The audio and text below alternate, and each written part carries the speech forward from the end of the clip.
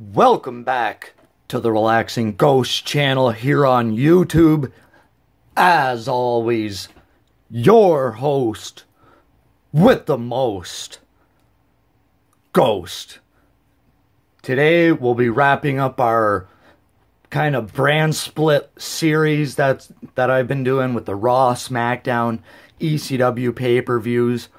Um, now it's time for the double feature DVD collection. Uh, I really like this idea. Um, I kind of wish they would have continued it a little bit, but it is what it is. Um, so over the past year, pretty much, they released a lot of pay-per-views. They're no longer doing the brand split or you know brand exclusive pay-per-views. I really liked it. I like how they kept continuity throughout the these DVDs at least. Um, you know, we got the Raw pay-per-views, the SmackDown pay-per-views. We got the year um, consistent um, logos, and you know, really really nice overall to have. You know, it, we got pretty much two for the price of one.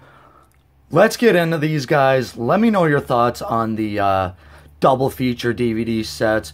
Let me know some of your favorites from this set. So first up, we would have the Elimination Chamber Fastlane double feature, two event combo pack.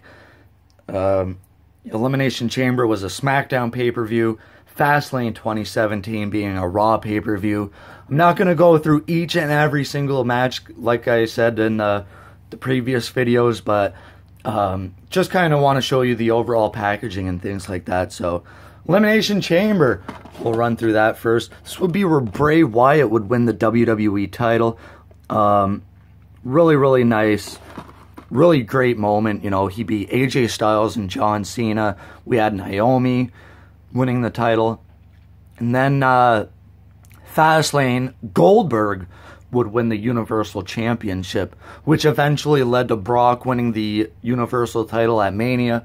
So that was a nice uh, couple great moments in uh, the beginning of 2017. Up next, we had Payback and Backlash.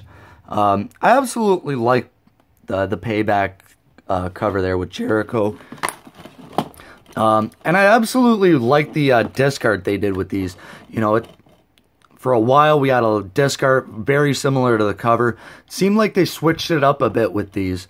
Um, you know, we had our match with uh, Roman and Strowman and our feud with uh, Orton and Mahal. Nice AJ Styles tops card.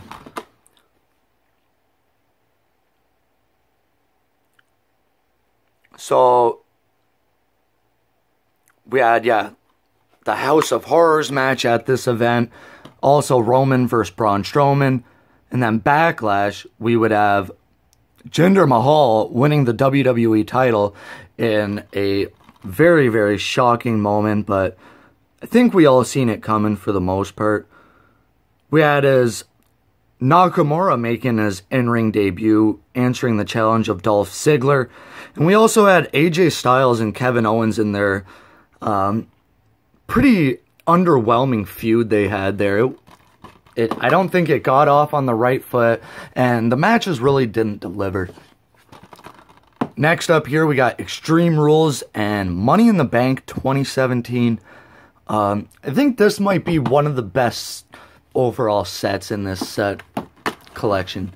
Um, so we got a Dean Ambrose card and alternate disc art. Not the biggest fan of the Money in the Bank disc art, um, but I like the main event being on the disc. I think that um, pretty much makes it stand out a little bit more. We had Seth Rollins, Samoa Joe, Roman Reigns, Finn Balor, and Bray Wyatt in a Fatal 5-Way match. Uh, 2017 was the year of Fatal 5-Way becoming a thing, if that's a thing. So we had a Fatal 5-Way Extreme Rules matchup, which Samoa Joe won. Um, pretty crazy. So we also had the Hardy Boys versus Sheamus and Cesaro in a steel cage. Um, those guys had a pretty good feud. And moving on to Money in the Bank, we had the first ever women's Money in the Bank ladder match between Charlotte Flair, Carmella, Becky Lynch, Natalya, and Tamina. Uh, Carmella victorious there. And Baron Corbin. You know, I like Baron Corbin, but his run as Money in the Bank really didn't do much for me or him. Uh, and that had AJ Styles, Nakamura, Kevin Owens, Sami Zayn, Corbin, and Dolph Ziggler. Um, we had that epic moment between uh, Nakamura and AJ Styles. A little tease before their feud this year. Next up, a pretty good show and a pretty bad show. Great Balls of Fire and Battleground 2017. Samoa Joe would get his uh, title shot at Great Balls of Fire. And then we had the return of the Punjabi prison match. I didn't hate that match, I'll put it that way, but um, we have Rusev and Cena in a flag match, a John Cena card, and our main event, Joe and Lesnar. So at this point, Lesnar was pretty dominant. We also had Strowman and Reigns in that ambulance match. Really, really good.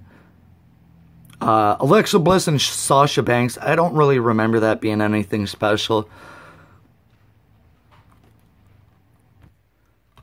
So, Battleground 2017, uh, we had Styles and Owens again.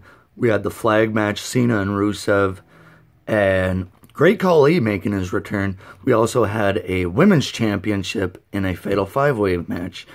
Again, you know, I'm not the biggest fan of these little descriptions on the DVDs, but I think it worked for these sets. They really needed the inserts during this time.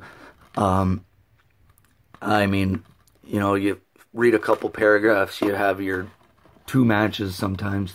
But moving along, another really good set. Um, no Mercy and Hell in a Cell. No Mercy um, had a really good potential to be a great show, but um, I don't know, something about it. I mean, a lot of people were disappointed with Strowman and Lesnar. And then this weird cover here with uh, Hell in a Cell. Owens climbing up one side and Shane's jumping off the other. I don't get it. So we had Cena and Reigns at No Mercy. Kevin Owens card um, was really like the Cena and passing the torch to Reigns. We also had another fatal five way for the women's title. WWE and their fatal five ways. Um, fatal five ways are just awkward. And Hell in a Cell, one of my favorite matches was that New Day versus Usos tag team titles Hell in a Cell match. Um, we also had Jinder Mahal, I believe, versus Nakamura. Um, also, Charlotte Flair versus Natalya. So, uh, Hell in a Cell, I I enjoyed the two cell matches, which um, are mean the most to me. So, and finally, in t- 2018, we had the first ever seven man Hell in a Cell match and the first ever women's or I said seven man Hell in a Cell, the seven man Elimination Chamber, and the first ever women's Elimination Chamber. Also, Fastlane 2018's kind of looks similar. Eh? A lot of people have mentioned that as well. Um, so at this point, it was rumored that uh, mine didn't come with the uh, card either. It was rumored that you know, the brand split or the co-branded pay-per-views would return after WrestleMania. So no more double feature, two event combo DVD sets. Um, but this one was pretty good. I liked uh, Fastlane a little bit. And uh, the two chamber match delivered. We had uh, Ronda Rousey contract signing. Asuka, I believe, versus Nia Jax, looks like. So, really, really good stuff here. By this point, AJ Styles is now the WWE Champion. He won that uh, shortly before Survivor Series, which uh, great, great moment here. Usos versus New Day, which didn't turn out to be much because of uh, Harper and Rowan's interference, but overall, guys, I would definitely recommend to pick up these double feature DVD sets. Take some time, subscribe to the channel. We'll talk to you later. Peace.